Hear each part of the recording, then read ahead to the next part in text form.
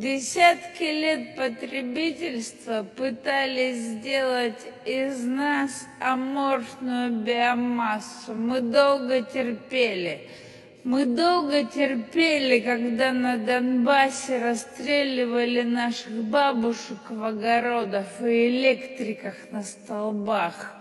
Убитый младенец на разорванной груди матери, девочка, расстрелянная кассетными бомбами на детском пляже и многие-многие преступления, на которые весь цивилизованный мир так долго закрывал глаза.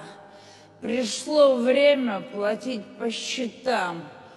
Посоветую укропам – Сдавайтесь, все ваши грехи вымерзнут в наших гулагах, и вы вернетесь чистенькими в наш русский мир, который переплавит все. А всем верным скажу, время настоящей свободы, о которой мы все мечтали, пришло. Сейчас самое время выбирать, кем мы хотим стать. Бессмертными героями или бесславными предателями. Каждый должен стать на своем посту, на своем фронте, на защиту нашей Родины.